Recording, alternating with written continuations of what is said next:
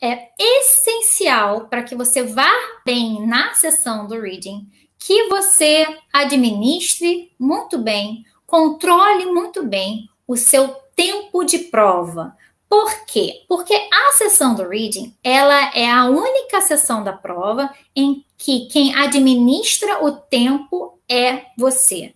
Quem vai administrar o seu tempo por questão é você. Então você tem ali na tela um relógio que vai fazer a contagem de toda essa sessão.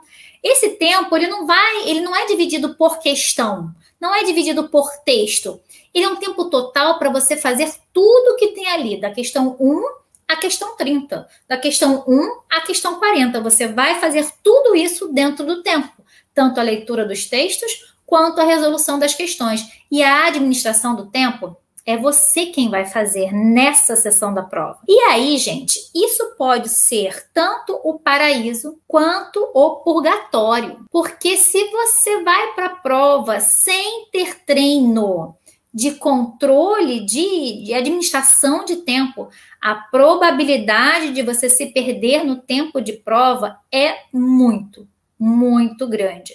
Porque o tempo de prova é curto para que você faça tudo o que precisa ser feito.